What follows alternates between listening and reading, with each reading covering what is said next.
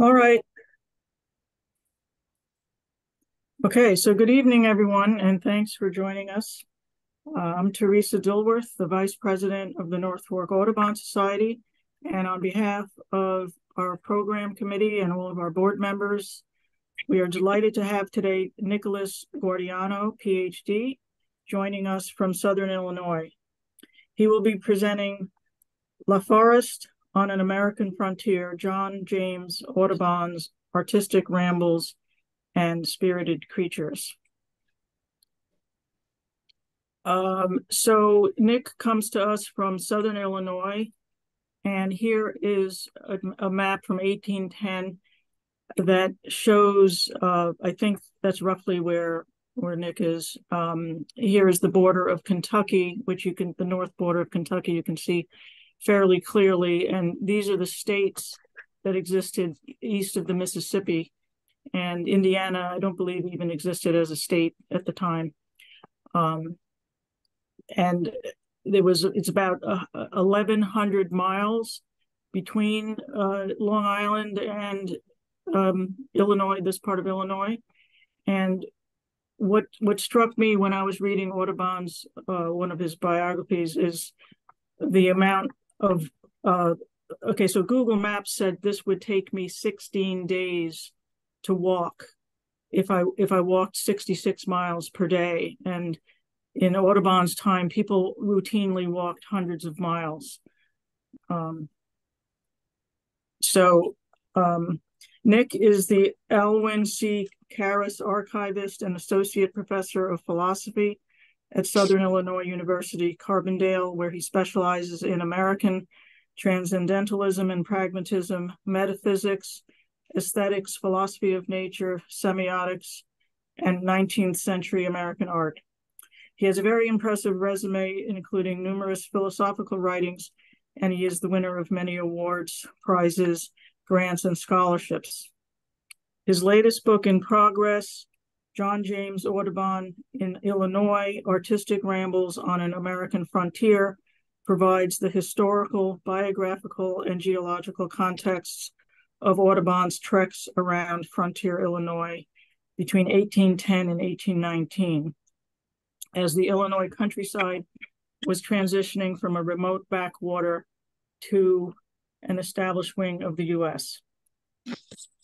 So I have never actually met Nick until tonight um, by Zoom. Uh, but my personal connection to him is that he he was an undergraduate student in philosophy at SUNY Stony Brook, and he was a student of my father, uh, philosophy professor David A. Dilworth, who is on this Zoom as well, uh, who's currently 89 years old and still teaching full time at Stony Brook, and who also frequently volunteers helping me with trail work at Inlet Pond County Park in Greenport. So Nick and my father have kept in touch over the years. And in 2020, during the pandemic, Nick sent my father an essay that he had written about John Audubon. My father forwarded it to me and said, You have to read this essay about Audubon that my former student sent me. So, although I was somewhat familiar with Audubon's bird paintings, reading Nick's essay really opened up my eyes to John Audubon as a person um, and led to buying some books about Audubon. And um, uh, Nick's essay was a direct influence on my decision to seek out and to join a local chapter of the Audubon Society. So that's how and why I joined the North Fork Audubon Society and became a board member. Uh, I have posted a link to Nick's essay in the Zoom comments. So uh, please take the opportunity to download it uh, since we're going to take it off our website um, after the program to honor a request from Nick's publisher. Um, so this, these are just some pictures of John Audubon that he painted a self-portrait on the left painted in oils, and then um, some pictures of his his three children. Uh, one, his daughter died uh, very early uh, as a toddler, but the two sons survived. And I couldn't find any oil paintings that he did of his wife, Lucy Audubon. I don't know whether it's because he didn't paint her or whether they just didn't survive, but I did find an old photograph of his wife Lucy and a picture of Audubon's 14 acre estate in Manhattan along the Hudson River, uh, just north of 155th Street. He um, he did live in New York toward the end of his life, and I believe he may have uh, died in New York um, in 1851. I'm not exactly sure if he died in New York, but um, at the end of his life, he lived in New York City. Um, so just before I hand it over to Nick, I wanted to just show one other self-portrait of Audubon. This is in his Golden Eagle painting in the Birds of America, and you can see uh, John Audubon in the lower left-hand corner. Um, the Golden Eagle is about the size of a bald eagle, uh, currently endangered, but in, in Audubon's day, it was, even in Audubon's day, it was rare. So uh, this close up shows Audubon, um, you know, having shot a, a, a, golden eagle and he strapped it on his back to bring it back home in order, in order to paint it. And some conveniently, uh, there's a tree that uh, somebody had put across um, a, a, gorge, which uh, kind of created a bridge and, you know, probably cut off uh, miles of of walking uh, on the way back. Um, so, but the thing that impressed me the most about this picture was that he's using an axe to uh, smooth out the the jagged branches that are sticking up, because you you can imagine if you're straddling a trunk of a tree like this, you know these jagged branches would be very uncomfortable. So uh, that I, I was impressed by that. So so I guess um, now we can I turn it over to Nick to uh, start his presentation. Thank you. Thanks so much, Teresa. That was great. You have a nice personal insight on my background with the connection with your father and all. We did actually meet one time though, and I remember it, it was oh. uh, yeah, it was on Long Island. It was with my now wife. She was not at the moment at the time, and we were uh, on the north exploring the vineyards and uh, you didn't know me and i told you who i was and then started to ask you for some uh, um, any kind of like stories to tell me about professor dilworth who you know i love and has been my mentor throughout my whole life or since i started philosophy which was over 20 years ago. So um, yeah. Thank you. Um, okay. I'm going to share my screen now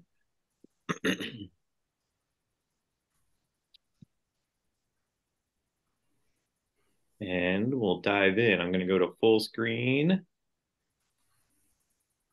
Hope you all can see that all right. okay. Title of my presentation is La, For La Forest on an American Frontier, John James Audubon's Artistic Rambles and Spirited Creatures. So La Forest, John James Audubon, he, he, translated his name from the French version to English when he came over, uh, when he emigrated from France when he was 18 years old. And his middle name was actually, it meant uh, the fern in French. And he changed that to La Forest, um, generalizing on that term his wife used to call him it. So I guess it was a, a, a, you know personal nickname of his, and I think it fits him very well. And, and you'll you'll you'll see why as I go through my presentation.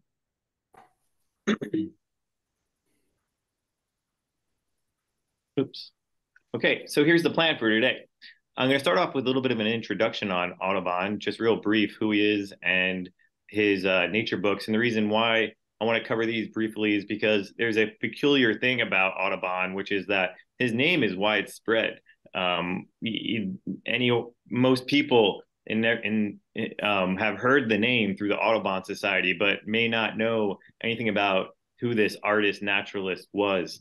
Um, so we're I'm just going to back up and kind of give a brief intro to him and his famous work, The Birds of America.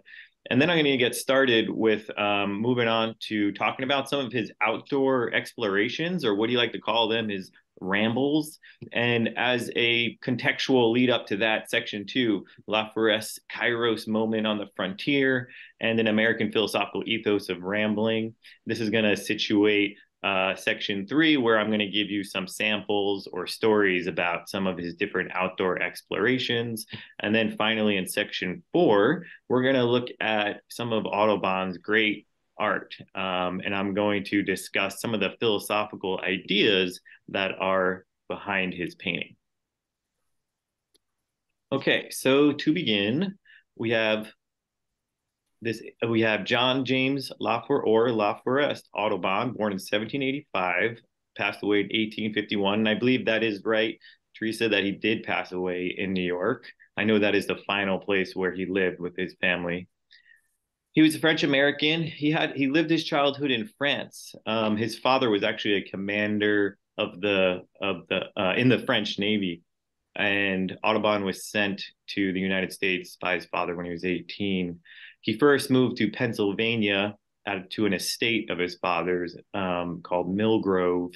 And then he worked his way further west to Louisville, Kentucky, and then further down the Ohio to Henderson, Kentucky, which is which then was very much right on the frontier, the western frontier of uh, the young United States. This would have been the first decade of uh, the 19th century as time went by and he started to try to collect more specimens of birds, he moved around. He ended up in Louisiana for a while and he finally moved to New York. He was a merchant of dry goods on the frontier in his early life. This would have uh, this was around 1810 to 1820 and I'm going to discuss that a little bit because it was this kind of transition point in his life leading up to his move to focusing full time on his art and the study of nature. He was both a naturalist and an artist, so not just one or the other, but both.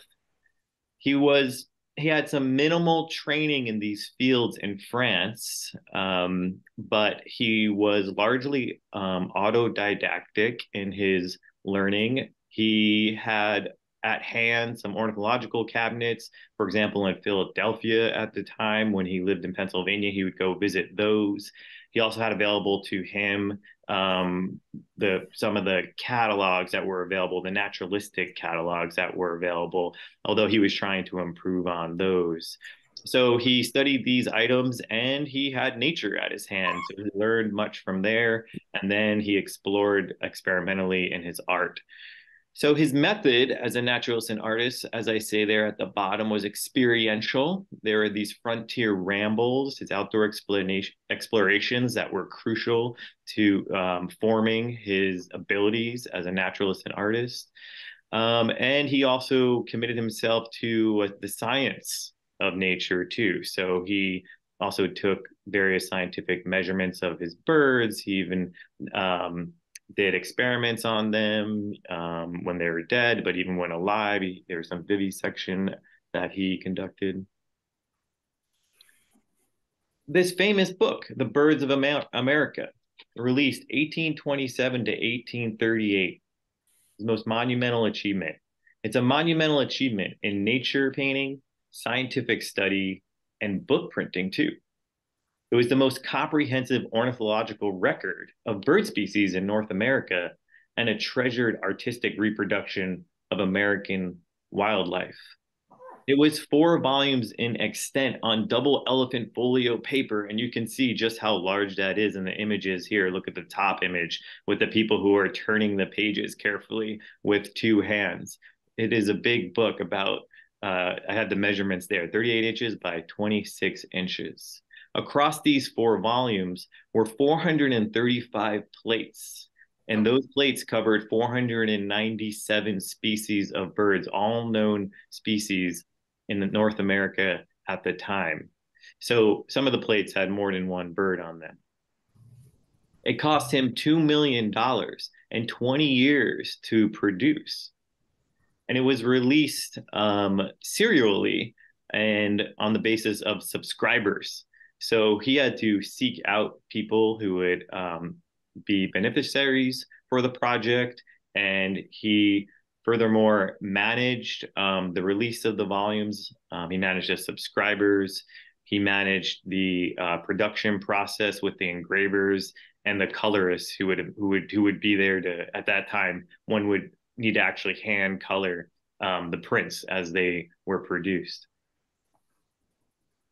It also required him to make extensive travels across um, the remote areas of the continent at the time. This included the Midwestern frontier, the southern bayous, the upper Missouri River, where Lewis and Clark explored, uh, the Florida Keys, and seas and the seas of Newfoundland.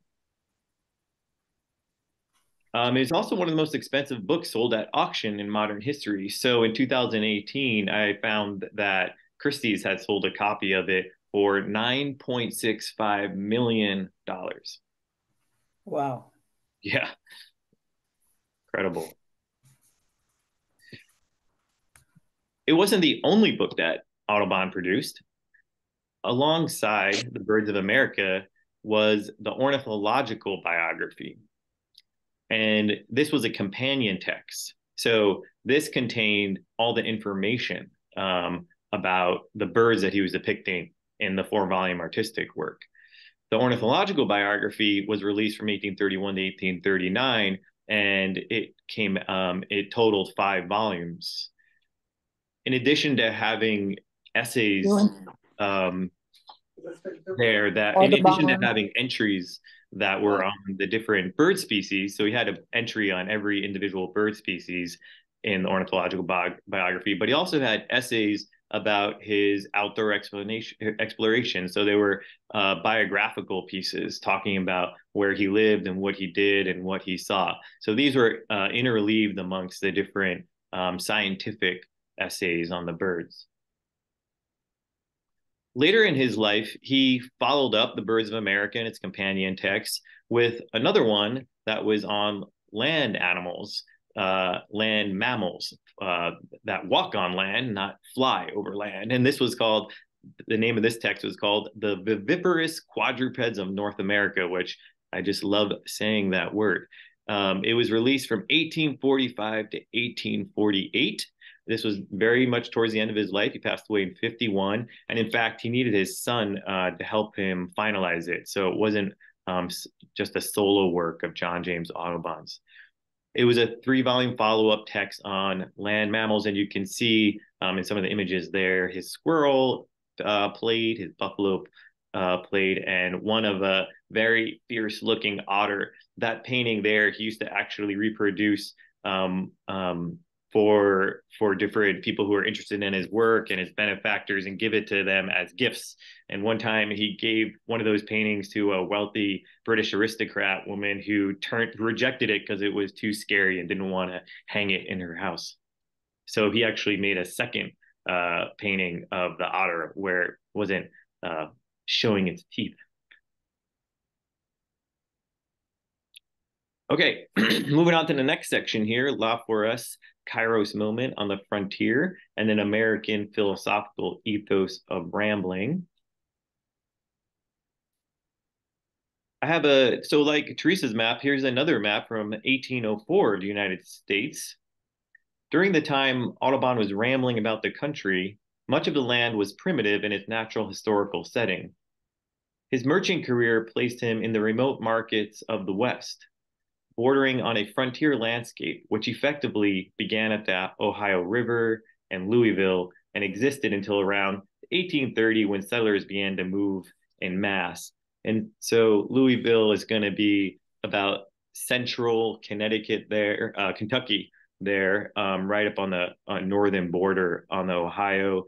And then um, I'll use my cursor here. So here's where Louisville is and was. And you go down the Ohio a bit further, then you end up in Henderson, Kentucky, and that's right on the border of Illinois territory at the time. So neither Illinois or Indiana were states in 1804, actually. So this map's slightly misleading.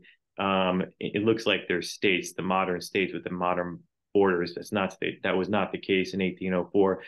Um, you had Indiana Territory established in 1800 Illinois Territory was established in 1809, Audubon moves to Henderson, Kentucky, right here in 1810.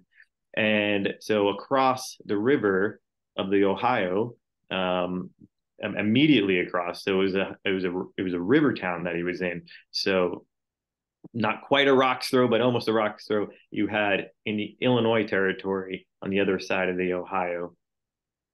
And Indiana would become a state in 1816 and Illinois a state in 1818 this was a this time that Audubon was in, the United States. He came, he, he emigrated in 1803 and he moves out to the frontier around 1809, 1810. This was a transition period in the United States in its history. Um, the country was mostly still pre-industrial and nature was still richly abundant and diverse in its range of species. Audubon observed extinct species as well as large mammals in places they no longer roam today like bison, cougar, and bear. He traveled by primitive means, stagecoach and flatboat, through old growth forests and untamed rivers and swamps. And he, con- and he contended with swarms of insects that could kill large animals, and in fact did. There's a story about a swarm of biting flies that once came up from the Illinois prairies and bit his horse, his horse so fiercely that it uh, it died from it. I could tell you more of that story later if you'd like to hear. This was th- these accounts though are are out there. Audubon wasn't the only one to to experience these things. La Forest Kairos moment. So paralleling the transition period of the early United States, Audubon also experienced his own transition moment in his personal life. From an early age and as a boy residing in the French countryside, La Forest had a passion for nature and art. After emigrating to the United States and while working in the commercial trades of the young country, he never lost sight of what he recognized as his true vocation to become a great naturalist and artist. This crucial period of his 20s and his 30s was invigorated by his outdoor rambles about the frontier edges of Indiana and Illinois territories. Ultimately, it culminated in his decision to abandon the relative security of his merchant career for a life exploring nature and the composition of his greatest work, The Birds of America. So I have a couple of quotes here of Audubon reflecting on that Kairos moment, that uniquely qualitative moment of his life. That first quote up top here, he says, I'll read it. For a period of nearly 20 years, my life was a succession, uh, succession of vicissitudes. So he's saying back when he was um, a merchant. I tried various branches of commerce, but they all proved unprofitable, doubtless because my whole mind was ever filled with my passion for rambling and admiring those objects of nature from which alone I received the purest gratification. That's actually in the introduction to an ornithological biography. And then in another essay that he writes, reflecting on his method of drawing and painting, he says, and this is the bottom quote I have followed slowly but constantly my object. I have often listened to the different observations of men who accidentally had made remarks on different species of birds, but seldom, except when with the rough hunters and squatters of the frontiers, have I discovered naked facts in such relations. I am persuaded that alone in the woods, or at my work, painting, I can make better use of the whole of myself than in any other situation.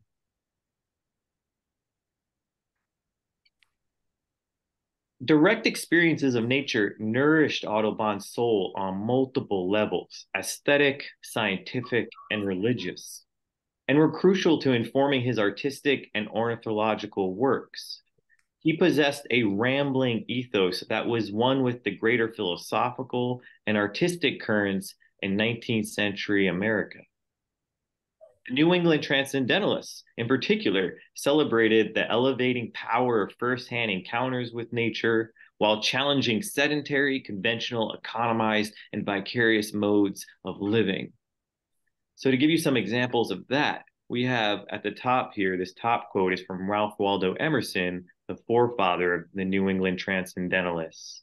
And this quote is from the American Scholar. In the American Scholar, he identifies three influences on the education of the person. He names books and practical experience as two of those, but thirdly is nature. And he says that nature is the first in time and the first in importance on the education of the person.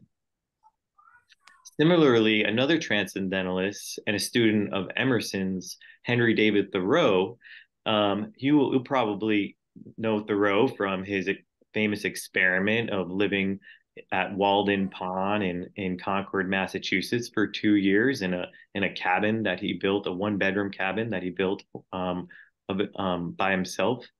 Thoreau, reflecting on that time in his book Walden on the experience, says, I went to the woods because I wished to live deliberately, to front only the essential facts of life, and see if I could not learn what I had to teach, and not when I came to die, discover that I had not lived. I wanted to live deep and suck out all the marrow of life. And then I have a third quote here from Audubon, which nicely parallels those quotes by the transcendentalists. He says, To study nature was to ramble through her domains.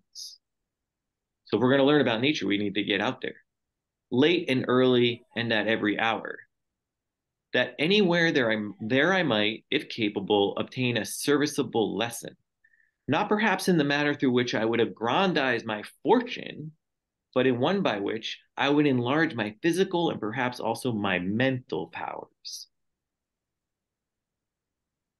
Not about making money, but enriching the soul. Audubon would make careful observations of his bird subjects in the field and perform experiments on them in order to study their anatomy. He also uniquely focused his, his attention on their behavioral norms, especially studying the rich social and emotional aspects of each, as he said, quote, little citizen of the feathered tribe. He insisted over and over again that his final goal was for his art um, that his final goal for his art was that it was to be, quote, drawn from nature. That is nothing staged, fake, exaggerated, or artificial. That statement, drawn from nature, he dutifully affixed at the bottom of each plate throughout the birds of America.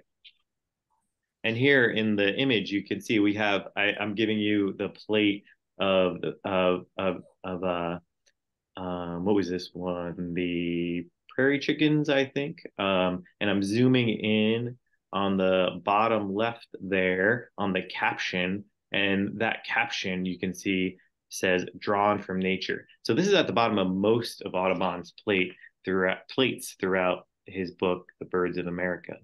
That was very important to him. The Hudson River School. Likewise, the contemporary, contemporaneous landscape painters of the Hudson River School, for example, Thomas Cole, Asher Durand, Frederick Church, Albert Bierstadt, they also used an artistic method that began with venturing forth into undeveloped wilderness areas in the Northeast. Carrying a backpack of art supplies, they literally immerse themselves in their subject matter, that is the natural landscape, making sketches and field notes, which they later use to work up um, um, to work up their complete paintings in their studios. So this painting here is by Thomas Cole, who's one of the founding uh, individuals of the Hudson River School. And this is painting the oxbow. It's of a, a region in Connecticut. And if you look down at the bottom towards the middle, if you can see my cursor, cursor, I'm circling the painter, Thomas Cole, right there immersed in the landscape. You can hardly see him. He's got a canvas in front of him too. He's doing his painting. And over here is his backpack with his umbrella.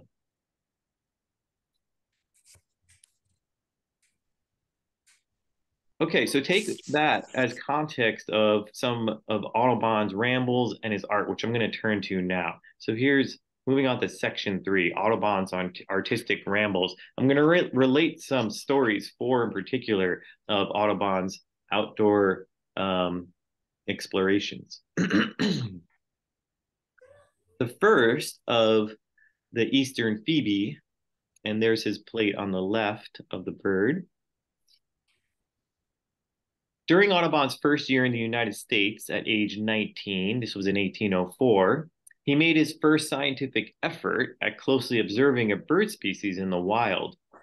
Nearby his home at Millgrove, Pennsylvania, one spring, he watched from the edge of a small cave a phoebe pair tending its nest and bearing a brood of chicks. Audubon devoted himself to spending the majority of each day within the cave in order to record the unfolding of events, including the exciting arrival of the new hatchlings.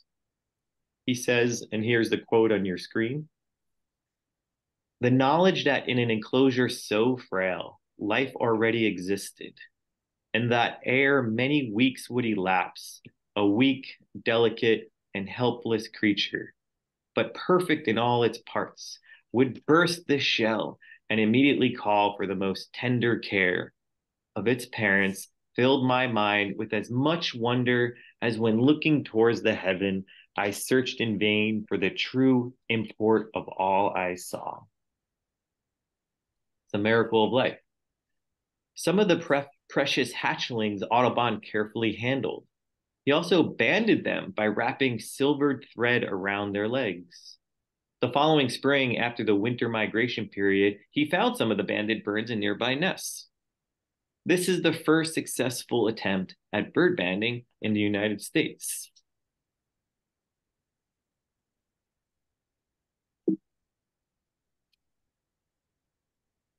Uh, whoops, let's see this one here. Yeah.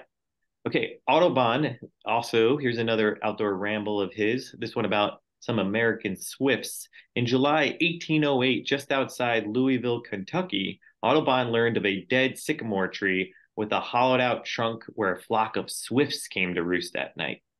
The massive tree stood at a height of approximately 70 feet and with a diameter of 8 feet.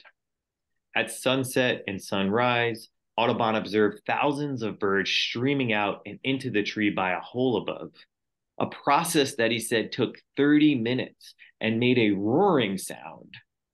In order to gain a better look at the action inside the tree, he axed a hole through the bottom of the trunk and climbed in. He says the interior of the tree was a matted mass of exuviae with rotten feathers reduced to a kind of mold, in which, however, I could perceive fragments of insects and quills. I had a passage cleared, or rather, bored through this mass for nearly six feet Above him, using a lantern, he perceived swift after swift clinging to the interior walls of the full extent of the tree trunk. Audubon would estimate that there were 9,000 birds in all. And you can see on the left, I found this historical image of an old growth uh, sycamore tree. And you can see the men at the bottom standing shoulder by shoulder to get a sense of the scale of how large that tree is. And then I thought I would supply you with one for my own outdoor ramble. I found an old growth sycamore tree about four weeks ago um, in Illinois on the Ohio River, actually, in a state park called Beall Woods. An early settler to the area in 1826 named Timothy Flint called the sycamore the king of the western forests.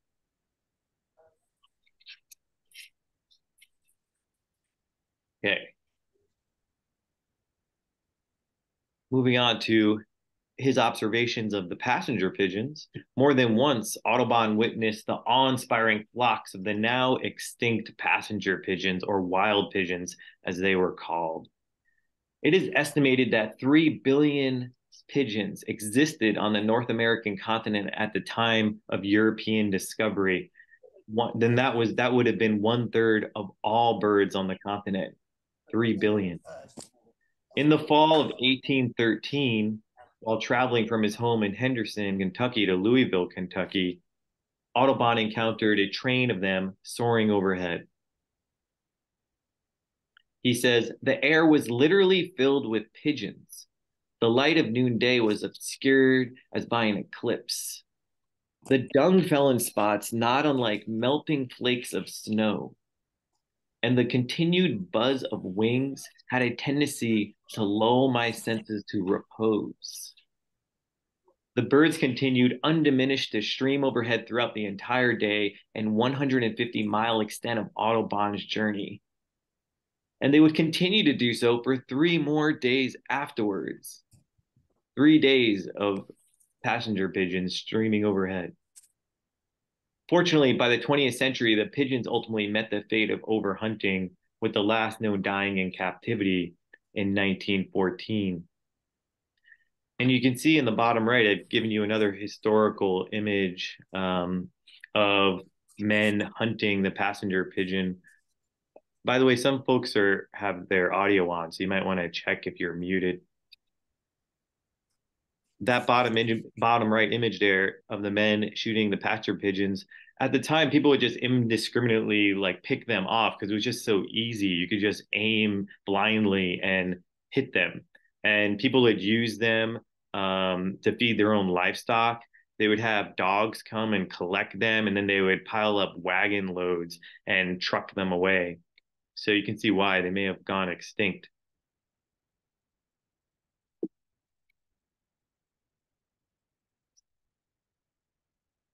Another ramble of Audubon's was a 14 week river trip around the Illinois Peninsula between 1819 and eight, uh, 18, excuse me, between 1810 and 1819, Audubon made several visits to the sparsely settled Illinois country. He explored its untamed rivers and bottomlands and observed its abundant wildlife.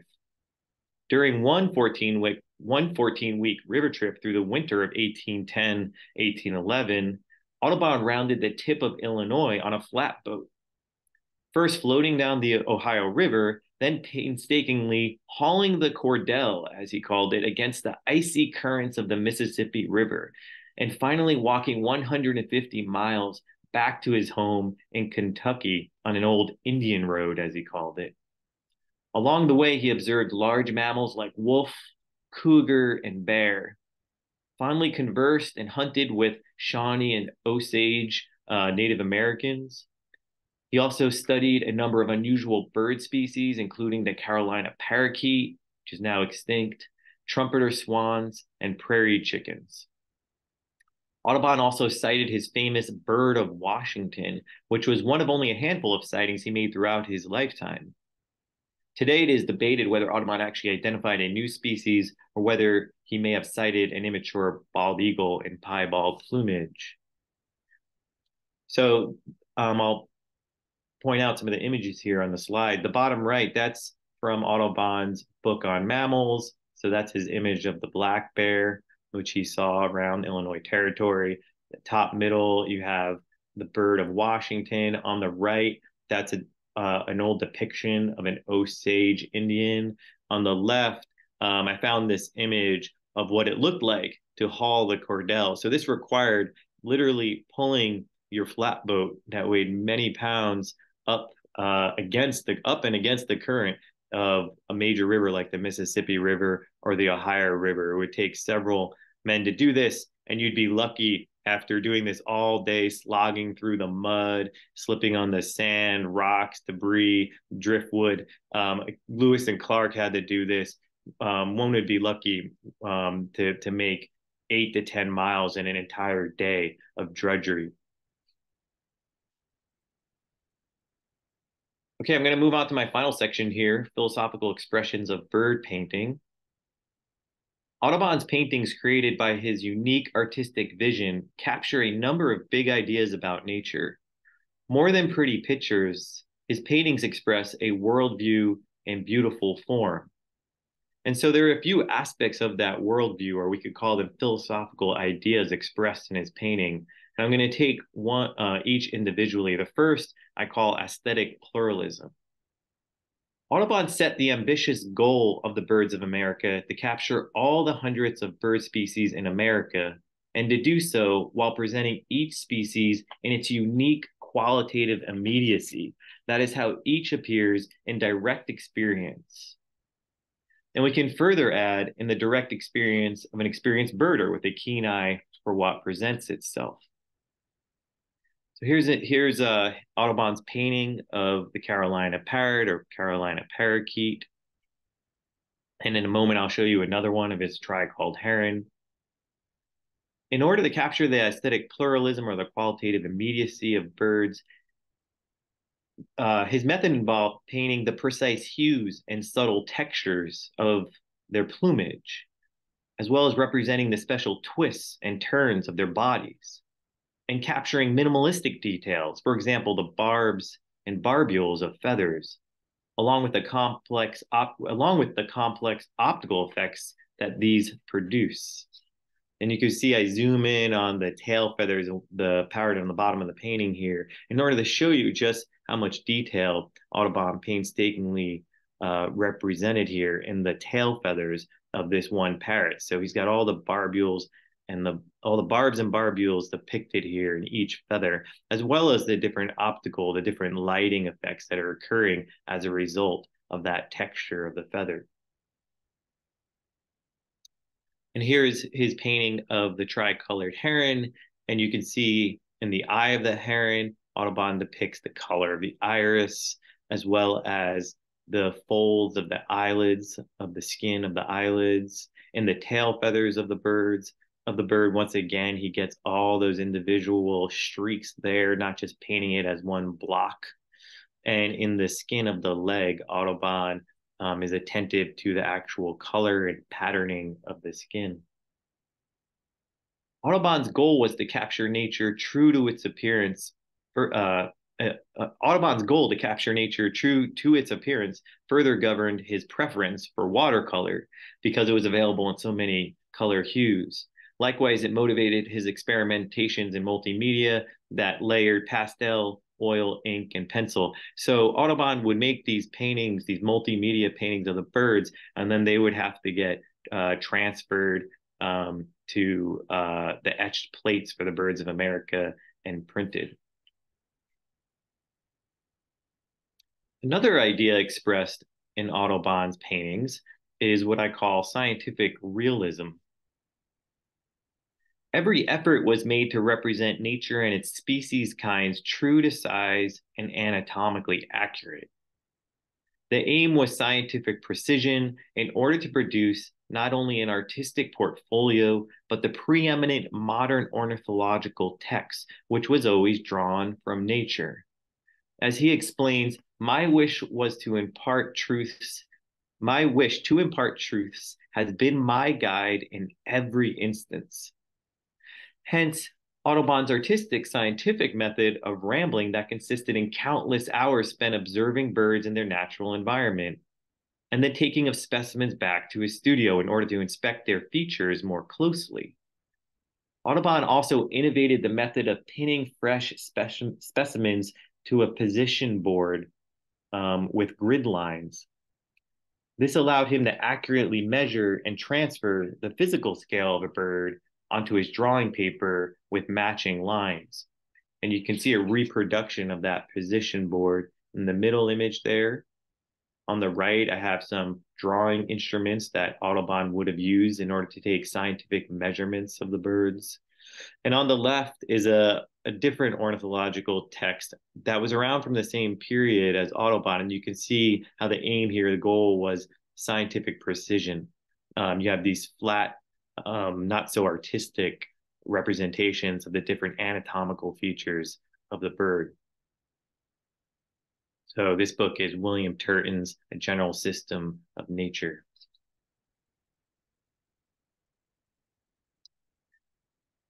Here are Audubon's paintings of the scarlet tanager, great egret, and frigate bird.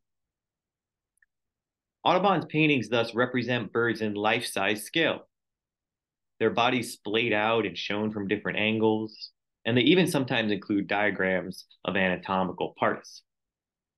In addition to his paintings, his extensive scientific observations are recorded in his five-volume companion with um, companion work, Ornithological Biography, which compiles information on distribution, abundance, plumage, diet, calls and songs, nests, courtship of mates, and many other physical features and social behaviors.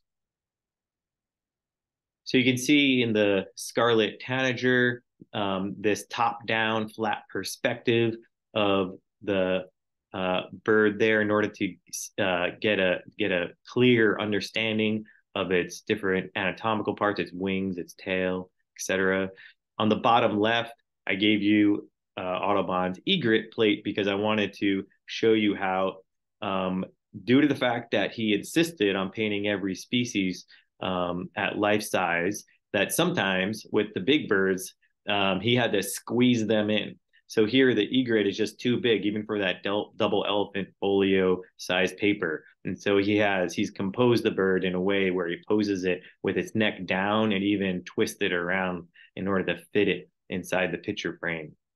On the right, I've given you the frigate bird so that you can see where at the top there, um, the talons of the bird. Here's an example of where one of Audubon's plate actually includes a diagram of an anatomical part um, and this here you can understand why, because he's giving you a top down view of the frigate bird. And so you wouldn't know what the talons of the frigate bird were like if you didn't do that. Okay, a third and final philosophical idea expressed in Audubon's paintings is vitalism. Saving the best for last, perhaps the greatest achievement of Audubon's art is its presentation of the living semblance of nature. It captures the spirit or soul of birds, each species as a living being. This facet of nature conveyed by Audubon's art is a metaphysical principle. It is the vitalistic core at the heart of nature, a principle left out of any merely physicalistic uh, description of nature. I'm going to give you a few quotes here by Audubon and by his contemporary transcendentalist Emerson. The first quote is in the opening passage, passage of Emerson's uh, essay titled Beauty. He says, The want of sympathy makes the ornithologist's record a dull dictionary. His result is a dead bird. The bird is not in its ounces and inches, but in its relations to nature. And the skin and skeleton you show me is no more a heron than a heap of ashes or a bottle of gases into which his body has been reduced is Dante or Washington. Audubon, in explaining his artistic goal, um, quotes here, in the, and this is the middle quote, he says, Nothing after all could ever answer my enthusiastic desires to represent nature than to attempt to copy her in her own way, alive and moving. And another quote, that third one at the bottom, he says, I wanted a bird fresh from the hands of its maker. I wished to possess all the productions of nature, but I wished life with them. But let's turn to the stylistic features of Audubon's mm. art that managed to convey such vitalism. Here's Audubon's paintings of the ivory-billed woodpecker, barn swallow, and long-billed curlew. First, supportive of approaching the inner life of nature's inhabitants is the composition. This composition manages to relate the viewer to the subject on intimate terms. For example, there is the lack of framing devices or obstructions between the viewer and the birds the minimal distractions in the form of background scenery or other prominent objects, the close up perspective, sometimes with a single bird filling the composition, and the birds situated at our level of uh, eyesight. So this is common. Then you can see that in each one of these paintings that the birds at our level of sight. Um, so on uh, uh at, in the ivory-billed woodpecker, we're actually up in the tree with the woodpeckers. With the barn swallow, we're up in the rafters of the barn, and with the curlew, we're down in the mud at the lake under the reeds. And you can see the city there in the background. For most of us, our routine observations of birds are never so close, direct, or personal. But in Audubon's paintings, we receive the hard earned privileges of a woodsman, as if high up in a tree, hanging from a cliff edge, or hidden amongst reeds on the shoreline, all things Audubon, in fact, did. More to the point, the soul of birds is conveyed by depicting their energetic and emotive lifestyles, sometimes in the form of mini narratives. Contrary to the stiff, inanimate profiles of past ornithological art, recall William Turton's ornithology page I showed you a few slides back, Audubon instead, his birds are shown indulgently eating, dramatically chasing prey, fighting off predators, building nests, grooming, caring for their young, chatting. There are so many mouths open and proudly flaunting their bodies and abilities through stretching, twisting, and soaring. The birds possess biographies, not just physiologies, recalling Audubon's companion essays to the birds of America. And I'm showing you here his painting of the Virginian partridge on the bottom left, a great American hen and young. Um, it's the wild turkey. And on the right, um, a mockingbird. And you can see in the mockingbird painting, you have this rattlesnake right here, this mouth open, and it's going for the bird's eggs in the nests. The rattlesnake's wrapped around the tree, and the mockingbirds are energetically fighting it off. On the left, you have this bird of prey coming down on the partridges, lots of action. On the bottom left, on the uh, I'm sorry, that was the top left, the Virginian Virginian partridge, and on the bottom left you have uh, the wild turkey with its with its chicks on the bottom there, trying to keep up with mom. You can see some are falling over. Here are Audubon's paintings of the blue jay, the Carolina parrot, and the broad-winged hawk. Um, with the blue jay, you can see how they're indulgently eating some birds' eggs that they've stolen. This bird on the left's got one stuck on his bill. This one on the right's um, catching some of the droppings from the egg above.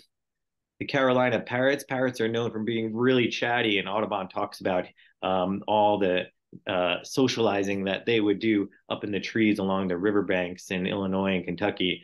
Um, and here you can see he's depicted a whole bunch of them up in the tree, and they've got their mouths open, some of them. They're looking at us. This one on the left seems to be waving, it has its talon up. And on the bottom right, you have the broad winged hawk. And I like how it's uh, displaying its wing for us.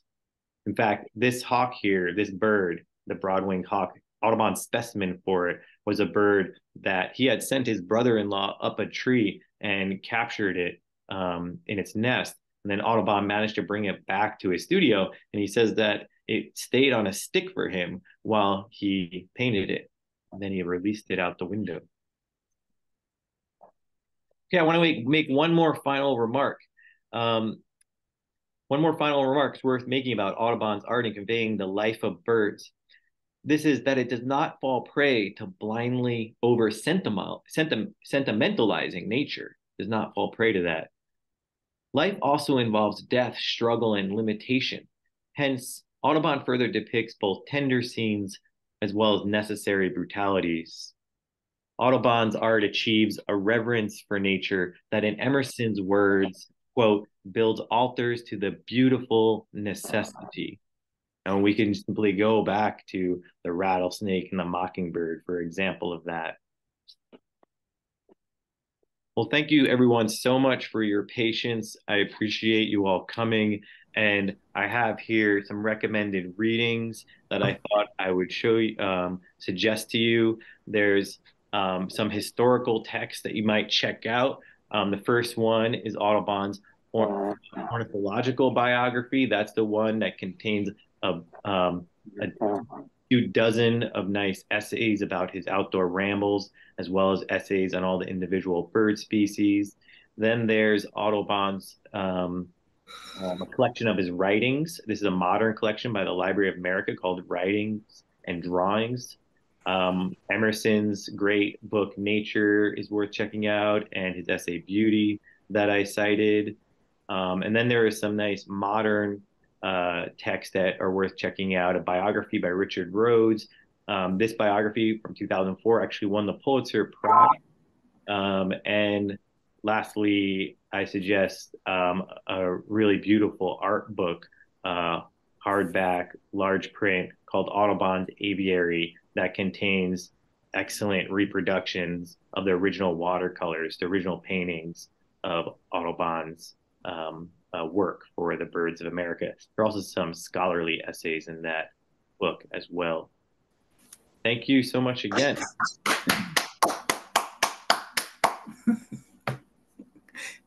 Thank you, Nick. Wow, that was fantastic. Uh, I, am like just the idea of him taking the, the the he obviously he did release the one bird that you talked about, but the idea of him putting the birds on the positioning boards, but they were they were dead, you know, but then he made them so alive. Anyway, sort of hard to jive all that. But um, all right, I have some questions here in the chat, and anyone else is welcome to to uh, chime in with questions. But let's start with the chat.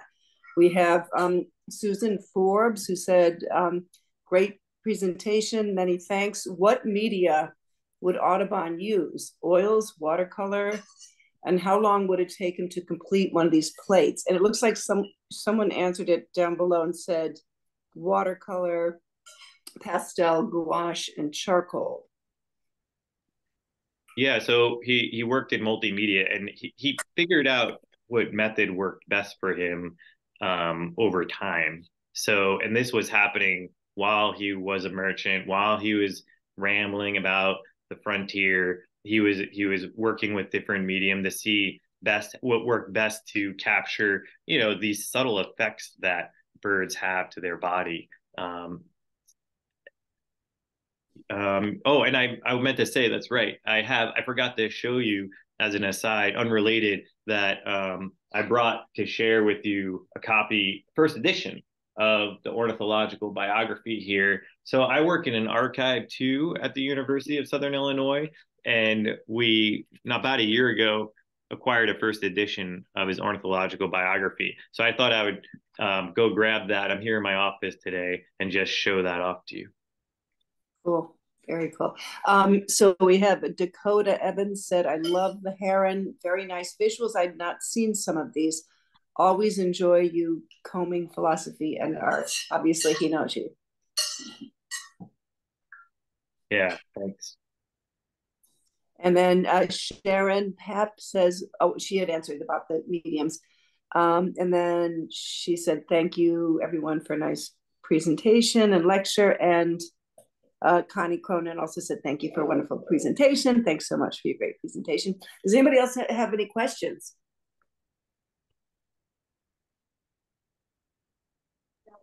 I just have a quick question. I'm um, going back to the actual um, production of the work. Do you have any idea how long it would take him to to create one of these, you know, elephant-sized uh, uh, folio pages? Yeah, I mean, I, I can't give you a definite number, but um, I know he worked hard and fast because he would actually, um, during the years that he was he was gathering a collection of the different species in his paintings he actually would regularly destroy them because he was every year he would do this on his birthday for a number of years he did this in order to force himself to get better um, so yeah he he was you you know he, he was practicing he was innovating he was experimenting and um, i wanted to also make a I, someone mentioned the killing of the birds and this is true. He most of the time would go out on his rambles and he would kill the birds. And this was in part because at that time one hunted um, for food. Um, you couldn't just easily go to the supermarket and get whatever it is you wanted out on the frontier. It was hunting birds was a common practice. It was like fishing today. Um, also, is the only way you could possibly paint a bird. You know, um, we didn't have they didn't have cameras at the time, so you couldn't snap a picture and then paint from a camera. So Audubon was um, this was the practice was to kill them and then take them back. But nicely, Audubon actually there's a number of places where he remarks on the indiscriminate killing of birds because that was also a practice by his contemporaries and he didn't appreciate it. So he has a lot of negative remarks to say about you know people picking off the passenger pigeons and how sick that makes him and and similar uh, practices. Well, that's good to know. Because, you know, you do think of like, in order to compile all that work, the number, the sheer number of birds that he had to kill. But as you say, I guess it was more accepted. Anyway, does anybody else have any? I, I do. I do, Peggy. Um, I was, I was wondering, you know, his, his interest in transcendental philosophy, uh, you know, 19th century American transcendental philosophy.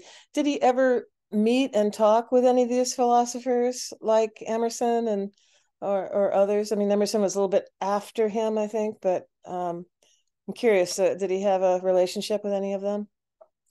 Yeah, not that I'm aware. I don't know of him running into them. He didn't, Audubon didn't, I think, spend too much time in New England. You know, he did move around a lot in order to uh, find the different species for his book project, but he never resided in the Northeast except once he moved to New York, of course, later in his life. But I don't know of any times he mentions in uh, uh, Emerson or Thoreau um, or other transcendentalists. That said, though, Thoreau and and the transcendentalists actually cite Audubon, so they knew of Audubon, and they they fondly uh, cite his his his uh, his his work on nature and his art.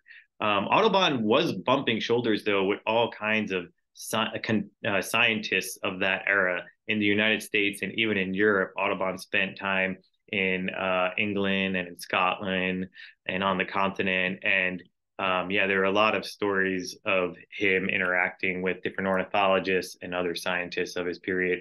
But it's true, they were contemporaries, but kind of halfway contemporaries. So Emerson publishes his first book in 1836 and then he gets on the lecture circuit around that time and is traveling around the northeast primarily but then further out west too in the 40s, 50s, and 60s.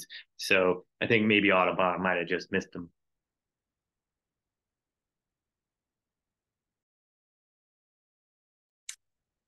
All right. Well, if no one else has any questions, then thank you very much. And we'll see you uh, for our next program, which is November 30th at the East End Seaport Museum with Tom Damiani, all about winter ducks. So thank you, Nick. Everyone have a great evening. Welcome. Thank you so much. It was wonderful. Really, really enjoyed it. Thanks. Thank you. Good. Good night. Good night. Hey. Good night.